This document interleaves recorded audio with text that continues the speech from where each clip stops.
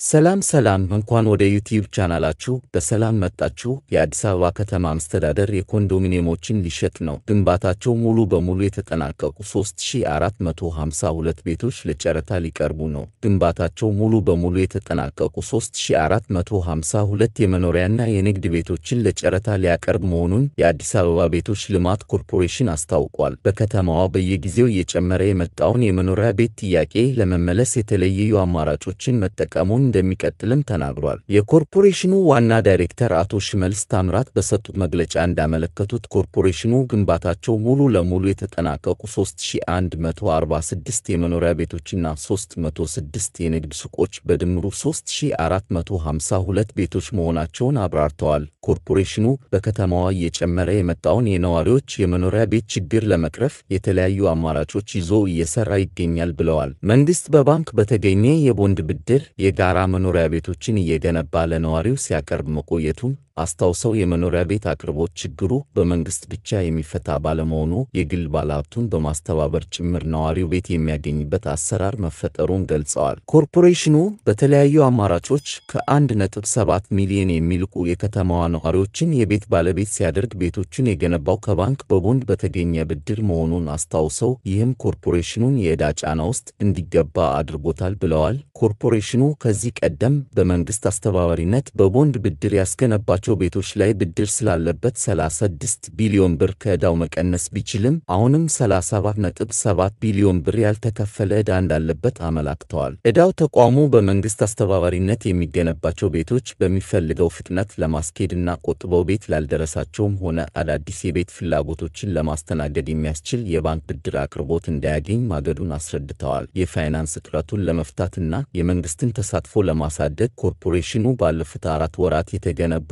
የመኖሪያና የንግድ ቤቶችን ለጨረታ ለማቅረብ መወሰኑን ዋና ዳይሬክተሩ አስታውቀዋል። ቤቶቹ በኮርፖሬሽኑና በዲዛይን ግንባታ ቢሮ በኩል በመንግስት በተመደበ ካፒታል የተገነቡ ሲሆን በሽያጩ በሚገኘው ገንዘብ በአጠረ ጊዜ የሚጠናቀቁ የኪራይ ቤቶችን ገንብቶ በዝቅተኛ የኑሮ ደረጃ ላይ ለሚገኙ የከተማዋ ነዋሪዎች ለማስተላለፍ እንደሚውል ገልጸዋል። ኮርፖሬሽኑ በከተማዋ የቤት ጥያቄዎችን ለመመለስ የተሰጠውን ተልዕኮ ለመውጣትም ያለበት ቀሪ ዕዳ ቤቶችን ለመገንባት የሚያስችለውን የፋይናንስ ወይም የባንክ የቦንድ ብድር ሊያስገኘው አልቻለም ሲሉ ገልጸዋል። ይህን ችግር ለመቅረፍም የከተማ አስተዳደሩ ጥረት እንዳለ ሆኖ ኮርፖሬሽኑ የፋይናንስ እጥረቱን በራሱ የሚፈታ የልማት ድርጅት ሆኖ እየተደራጀ መሆኑን አንስተዋል። በዚህም ከዲዛይን ግንባታ ቢሮ ጋር በመተባበር በመንግስት በተመደበለት ካፒታል በጀት በአራት ወራት ውስጥ ያስገነባቸውን 3452 የመኖሪያና የንግድ ቤቶችን በሽያጭ ለጨረታ አቅርቧል ነው ያሉት። ኮርፖሬሽኑ ሁሉንም የቤት አቅርቦት አማራጮችን በማቀናጀት የነዋሪዎችን ቤት ችግር ለመፍታት መስራቱን ይቀጥላል ያሉት ዋና ዳይሬክተሩ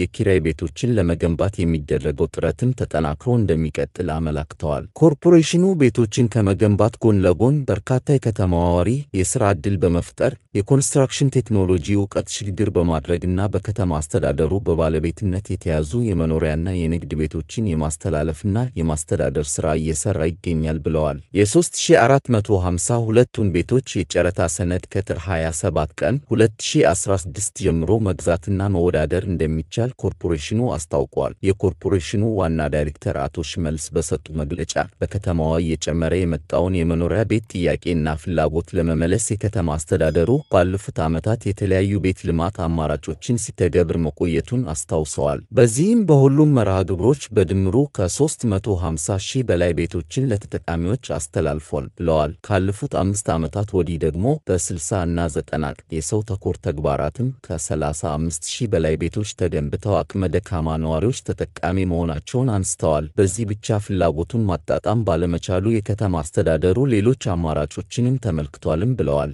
እነዚህን አማራጮችን የማስፋት ሂደትም ተጠናክሮ የሚቀጥል መሆኑንም ገልጸዋል። በሌላ በኩል በዓመት 40 ሚሊዮን ዶላር ያስወጣ የነበረውን የእርጎ ማቆያ ኬሚካል የሚተካ አዲስ ግኝት ይፋ ተደርጓል። በእርጎ ምርት የተሰማሩ የኢትዮጵያ ኢንዱስትሪዎች የሚያስፈልጋቸውን ቁልፍ የእርጎ ማቆያ ላክቲክ አሲድ የተባለ ኬሚካል ወደ አገሪቱ ለማስገባት በዓመት የሚወጣውን 40 ሚሊዮን ዶላር ያስቀራል የተባለ አዲስ የኬሚካል ግኝት በብሔራዊ የግብርና ባዮቴክኖሎጂ ምርምር ማዕከል መሰራቱ ተነገረ። በምርምር ማዕከሉ በአይን የማይታዩ ሕዋሳት ባዮቴክኖሎጂ ዘርፍ ተመራማሪ የሆኑት የግኝቱ ባለቤት አቶ አዳነ እሸቱ ምርምሩ ሰባት ዓመታት እንደፈጀባቸውና በአሁኑ ወቅት በብዛት ተመርቶ ለማሰራጨት ዝግጁ መሆኑን ገልጸዋል። ተመራማሪው ስለ ግኝታቸው ምንነት ለሪፖርተር በሰጡት ማብራሪያ ላክቶባሲለስ የሚባሉ ከላክቲክ አሲድ የወጡ ባክቴሪያ ነው ወተት ለማርጋት የሚያስችለውን ንጥረ ነገር መፍጠር ያስቻለን። በምርምር ሂደቱ መጀመሪያ የሚያስፈልገውን ለመለየት በብዙ ዝርያዎች ላይ ምርምር አድርገን ነው ያገኘነው። ከልየታው በኋላ የተፈለገውን ዓላማ ለማሳካት ይሆናል ተብሎ የተመረጠውን ዝርያ ባህሪ የማድረግ ሥራ በተለያየ የአየር ሁኔታ መጠን፣ በተለያየ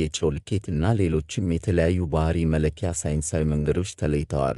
በመቀጠልም የተለያዩ ምርመራዎችን በማድረግ ስኬታማ የሆነው ልዩ ዝርያ ታውቋል። በዚህም ኢንዱስትሪዎች በአሁኑ ወቅት የሚጠቀሙትን የወተት ማርጊያ ኬሚካል የሚተካውን ግኝት ፈጥረናል ብለዋል። የእርጎ ማቆያው እስካሁን ሰበታ አግሮ ኢንዱስትሪ በሱሉልታና ሐዋሳን ጨምሮ በአምስት የእርጎ አምራች ኢንዱስትሪዎች ላይ ላይ ውሎ ውጤታማነቱ መፈተሹ የተገለጸ ሲሆን ኢንዱስትሪዎችም ምርቱ መርዛማነት የሌለው በጤና ላይ ምንም አይነት ጉዳት የማያደርስና ከውጭ አገሮች ከሚገቡት እኩል ውጤታማ መሆኑን የማረጋገጫ ደብዳቤ ለምርምር ማዕከሉ መስጠታቸውም ተጠቅሷል። ግኝቱን በብዛት አምርቶ ለኢንዱስትሪዎችና ምርቱን ጠያቂ የወተት ተዋጽኦ አምራች ኢንዱስትሪዎች በጠቅላላ በብዛት አምርቶ ለማዳረስ የሚያስችለው ባዮሪያክተር የሚባል ማባዣ ማሽን ለመግዛት የምርምር ማዕከሉ በሂደት ላይ መሆኑን ተመራማሪው አብራርተዋል። ይህ ባዮሪያክተር ከመጣ ብዙ ልኬት አዘጋጅተን ኢንዱስትሪዎች በሚፈልጉት መጠንና ጊዜ ገበያው የሚፈልገውን ያህል ማቅረብ እንችላለን ብለዋል። በሌላ በኩል የብሔራዊ የግብርና ባዮቴክኖሎጂ ምርምር ማዕከል በእንስሳት ዘረመል ምርምር ክፍል ለወተትም ሆነ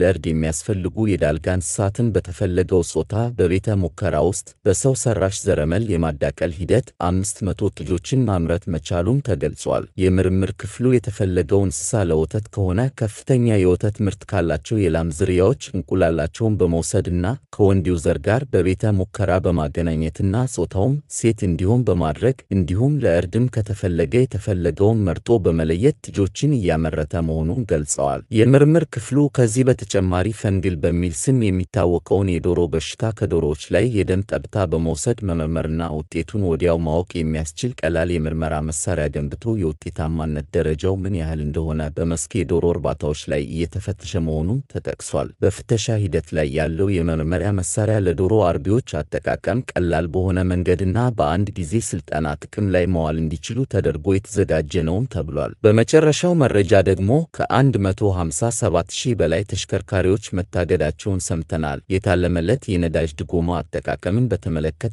በሁሉም ክልሎች በተደረገ ኦዲት አገልግሎቱን ለማግኘት ከተመዘገቡ 242 ሺህ ተሽከርካሪዎች መካከል 157 ሺህ በላይ መታገዳቸውን የትራንስፖርትና ሎጂስቲክስ ሚኒስቴር አስታወቀ። ሚኒስቴሩ ይህንን ያስታወቀው ለሕዝብ ተወካዮች ምክር ቤት የከተማ መሠረተ ልማትና ትራንስፖርት ጉዳዮች ቋሚ ኮሚቴ የስድስት ወራት የሥራ አፈጻጸም ሪፖርቱን ሲያቀርብ ነው። ድጎማ ለማግኘት ምዝገባ ባደረጉ ተሽከርካሪዎች ላይ ያለውን አጠቃላይ አሰራር ለማጣራት በተደረገው ኦዲት ክልሎች ድጎማ ይገባቸዋል ያሏቸውን ተሽከርካሪዎች ለይተው እንዲመዘግቡ ቢጠበቅባቸውም ያልተሟላ መረጃ በመገኘቱና ተሽከርካሪዎች ወቅታዊ የሆነ የስምሪት መርሃ ግብር ላይ መሆናቸው ባለመረጋገጡ 157 ሺህ ተሽከርካሪዎች በጊዜያዊነት እንዲታገዱ መደረጉን በትራንስፖርትና ሎጂስቲክስ ሚኒስቴር የነዳጅ ድጎማ ማስተባበሪያ ጽሕፈት ቤት ኃላፊ አቶ ሱሌማን መሐመድ ተናግረዋል። የድጎማ ተጠቃሚ ለሆኑ ተሽከርካሪዎች የሚመለስላቸው ተመላሽ ገንዘብ መጠን ስርዓቱ ተግባራዊ መደረግ ከጀመረበት ሐምሌ 2014 ጀምሮ ለሰባት ጊዜያት የድጎማ ተመላሽ ማስተካከያ መደረጉን አስረድተዋል። ለድጎማ ተጠቃሚነት ከተመዘገቡት 241081 ተሽከርካሪዎች መካከል እስከ ጥር 2016 የአገልግሎቱ ተጠቃሚ የነበሩት 227370 መሆናቸውን ጥር 1 ቀን 2016 በተደረገ ኦዲት 157205 ተሽከርካሪዎች በጊዜያዊነት መታገዳቸውን 16000 ተሽከርካሪዎች በቋሚነት እገዳ እንደተደረገባቸው 70165 ተሽከርካሪዎች ደግሞ የታለመለት የነዳጅ ድጎማ ተጠቃሚ ናቸው ተብሏል። በጊዜያዊነት ስለታገዱት ተሽከርካሪዎች ክልሎች አቤቱታ እያቀረቡ በመሆኑ ማጣራት እንደሚደረግ ተገልጿል።